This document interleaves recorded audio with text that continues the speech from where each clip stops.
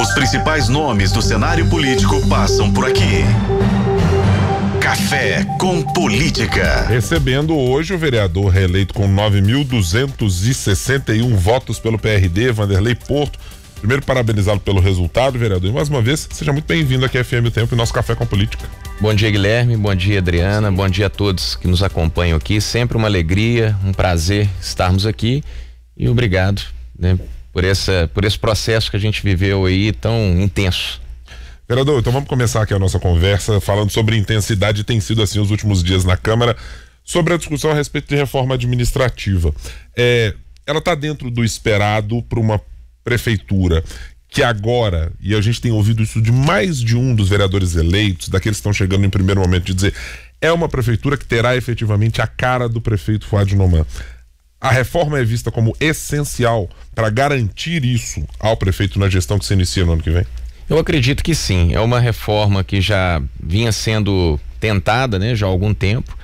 É, a gente entende que o prefeito ele precisa colocar sua digital de fato na, na, na prefeitura como um todo. Eu acho que ele vai ter toda a liberdade para fazer isso agora, de agora em diante.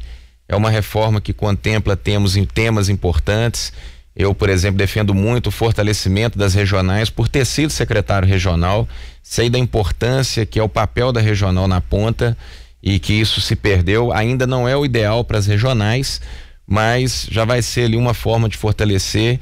Então eu acredito que é de fundamental importância a reforma. E, ah, mas está aumentando o gasto, está aumentando isso, está aumentando. Eu acho que há, há um remanejamento também interno que já existe então, e é tudo dentro da capacidade que a prefeitura pode oferecer. O PRD espera o que dessa reforma administrativa? Eu digo até mesmo em relação a cargos, em relação a espaços dentro da própria estrutura da prefeitura.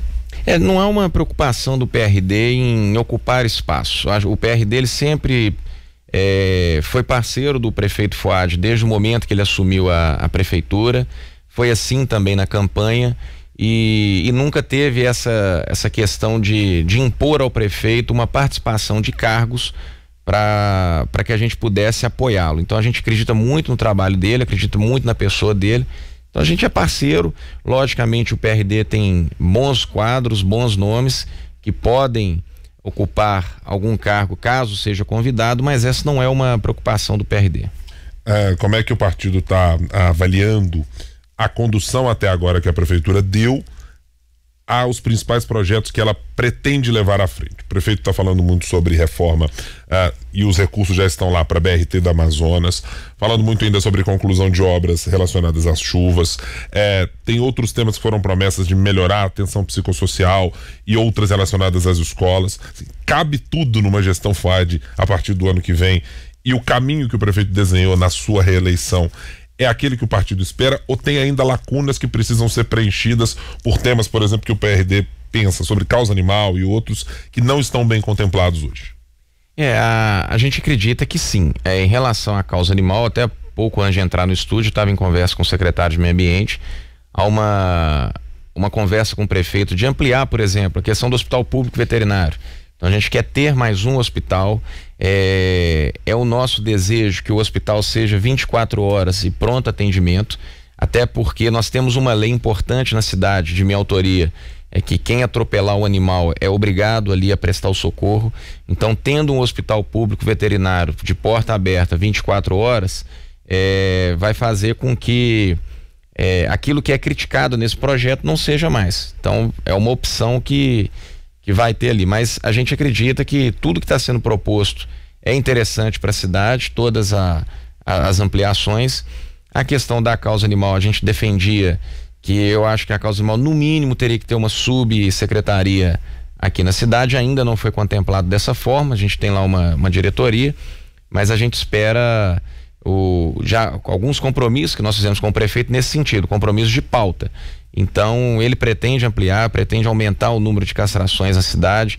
Então, isso para nós é importante. E o nosso trabalho, através das emendas impositivas, a gente também vai contemplando, de certa forma, essa questão como um todo. Na gestão FUAD ainda tem a questão do transporte público, a questão do novo contrato né, de ônibus. É, qual é a expectativa do senhor? O senhor acha que a discussão vai caminhar? Já é para começar agora, porque não dá para deixar para a última hora, né? A gente já viu é, os transtornos que, que são que surgem quando a gente deixa pautas tão importantes da cidade é, para serem discutidas muito em cima da hora. Então já é hora da prefeitura encampar essa, essa discussão? Eu acredito que sim. Eu fui o, nessa legislatura, eu fui o vereador o primeiro a assinar a, a CPI da Caixa Preta BH Trans, participei efetivamente da CPI. É, tenho plena ciência de quão nocivo é esse contrato para a cidade e defendo que a prefeitura tem que fazer exatamente isso, Adriana, começar todo um planejamento, toda uma preparação, porque senão chega perto do, do momento, aí fica aquela, aquela situação na, na correria e, e aí a cidade é prejudicada novamente por mais quantos anos, né? Porque já são 20 anos, né? Vão ser 20 anos com esse contrato que eu entendo que é muito nocivo à população de Belo Horizonte. Então eu espero que a prefeitura já esteja trabalhando nisso, já esteja pensando um formato que vá garantir ao cidadão qualidade no transporte, preço justo e, e a gente espera que isso possa fluir de uma forma melhor para a cidade. A CPI indicou caminhos, vereador, para a construção desse contrato a partir de agora. A gente vê mudanças específicas, por exemplo, na remuneração a partir de quilometragem. Era algo que não constava inicialmente no contrato é, foi um adendo que entrou nessa, é, nessa definição jurídica mais recente da prefeitura. Mas assim, tem solução para não termos a passagem mais cara do país sem ter um subsídio, ou tem que ter subsídio, ou ah, uma outra conversa que era fracionar os serviços que são é, colocados dentro desse contrato. Olha, bilhetagem é uma coisa, manutenção é outra coisa, o transporte efetivamente é outro. Tem um caminho minimamente desenhado para onde ir Pois é, no mundo a gente tem vários formatos. Tem um formato que é totalmente estatal, tem um formato que é totalmente privado, tem um misto, que é o nosso caso. É, eu entendo que a questão do subsídio, ela, de certa forma, ela é importante para segurar a passagem, o aumento de passagem, por exemplo, mas que seja da forma que nós implementamos de uns tempos para cá. Porque antes era dado subsídio, sem exigir contrapartida alguma, e a gente não sabia o que ocorria das últimas vezes que foram liberados subsídios com a nossa votação na Câmara, a gente exigiu uma série de questões e conseguimos vários avanços. Eu acho que a CPI, né, até voltando, ela, ela apontou alguns caminhos, mostrou o que que houve de fato de irregularidades naquela licitação, é, mandou para o MP toda o, as pessoas que a gente estava ali indiciando, né, mostrando que havia algum tipo de, de problema. Mas a gente entende que eu acho que tem que ser estudado de certa forma a gente precisa pensar no bolso do cidadão. É, eu não sei se a cidade teria condição de bancar o sistema todo por conta própria, que alguns municípios fizeram, é, mas isso tudo tem que ter estudos mesmo, fazer conta e pensar sempre no cidadão. Eu acho que a gente sabe que a, a empresa ela tem um alto custo de operação, isso é de forma clara combustível está sempre aumentando, é, manutenção de peças, isso a gente não, não, questiona. O que a gente questiona é o que a gente identificou na, na CPI, que foram superfaturamentos.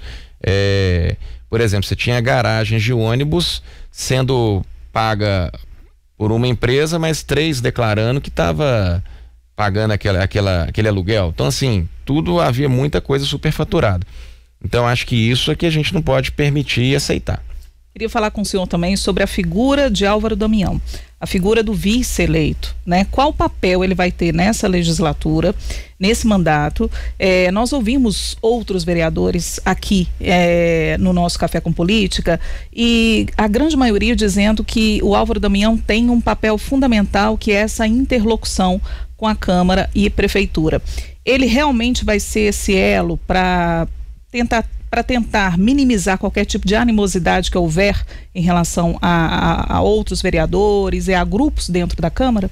Eu acredito que o Álvaro ele tem total condição de exercer esse papel por né, estar convivendo com a gente ainda no restante deste mandato, conhece a Câmara Municipal, conhece os vereadores, acredito que tem feito aí agendas com os vereadores novatos também.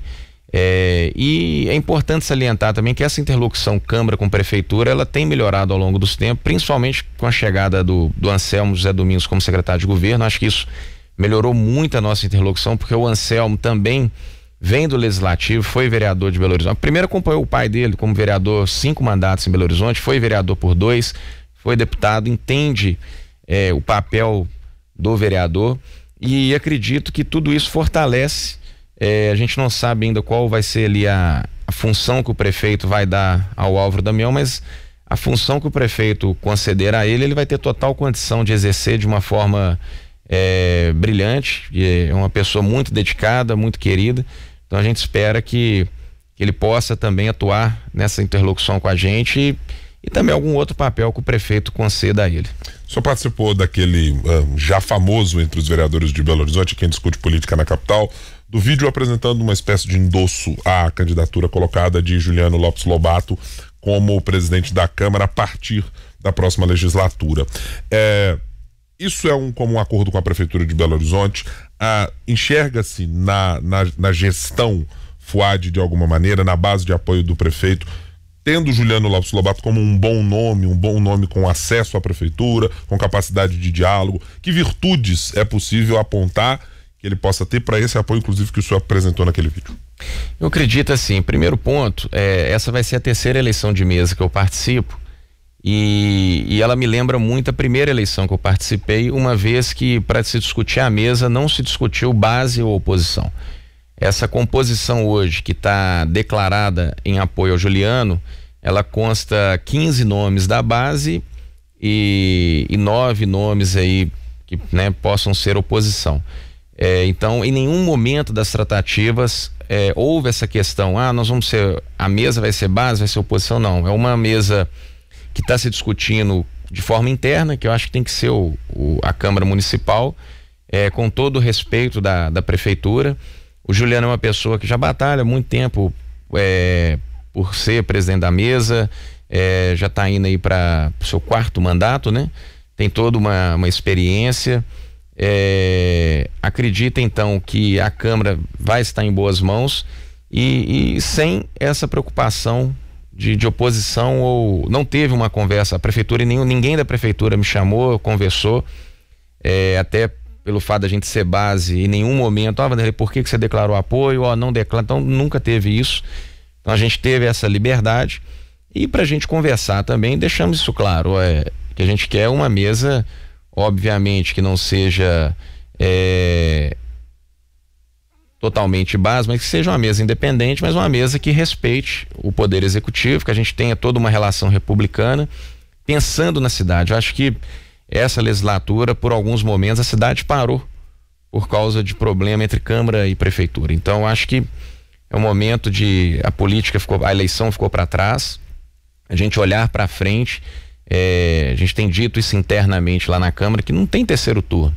Então, hoje, por exemplo, a gente tem uma ação que a gente respeita da, da oposição em relação principalmente à questão da reforma, mas fica como se fosse um terceiro turno. O terceiro turno passou, é, é olhar para frente, olhar para a cidade e eu acho que é nesse caminho que a gente tem que seguir. Deixa eu eh, estender aqui na pergunta, Helena, para saber uma questão o fato de Juliano Lopes e Anselmo José Domingos, secretário de governo, terem integrado o mesmo grupo político enquanto estiveram no PTC, né, um partido já, já extinto, é, ajuda nesta relação entre executivo e legislativo potencialmente, vereador?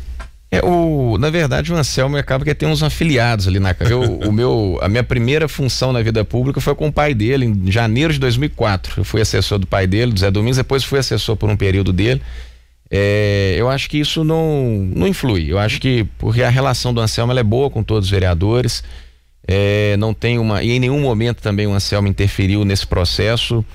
É, e quando eu toquei no assunto com ele, ele perguntou: Vanderlei, eu tenho que aguardar o posicionamento do prefeito para a gente conversar. Então não teve é, absolutamente nada disso, mas a relação dele é boa com todos os vereadores. Então é, eu não vejo que seja um ponto a mais ou a menos, mas é, eu acho que vai ser importante, né, de toda forma. Já está caminhando para o finalzinho, mas eu queria saber sobre a nossa Times Square. Teremos? Ué, eu acho que sim. Nós vamos votar em segundo turno, ainda já agora em dezembro. É, o projeto está concluído para segundo turno. Já na reunião de colégio de líderes já ficou acertado que ele vai ser pautado. É um projeto que visa proporcionar para Belo Horizonte um espaço de turismo, um espaço, porque a gente percebe que o centro da cidade ele está deteriorado, ele está é, esvaziado. Hoje, com os comércios é, regionais terem se fortalecidos, o centro ficou muito é, desprovido. Basta ver o tanto de loja vazia. Então eu creio que se a gente tiver um ponto turístico ali dessa forma, como é em, Nova York, como é em Xangai e em outros lugares do mundo, eu acho que pode ser um atrativo interessante para a cidade. Ah, é natural que tenha algum tipo de crítica por parte da esquerda, mas o que a gente entende é que vai trazer um modernismo para a cidade e a gente tem plena consciência de que, que vai ser algo positivo. Nós conversamos com o vereador reeleito de Belo Horizonte, Vanderlei Porto, do PRD. Vereador, muito obrigado por estar conosco aqui agora nessa nova fase, no novo estúdio. E, evidentemente, daqui a pouco chamamos de novo para conversarmos mais sobre a cidade, e tem muito assunto saindo da região do, Colégio de Líderes, das intenções do prefeito Fábio Noman e de assuntos importantes para o Belo Horizonte. Obrigado. Eu que agradeço, né, mais uma vez por estar aqui. Parabéns a todos por esse, por esse trabalho de excelência que vocês vêm realizando no jornalismo da nossa cidade, do nosso estado. Obrigada, viu, vereador? Espaço sempre aberto aqui.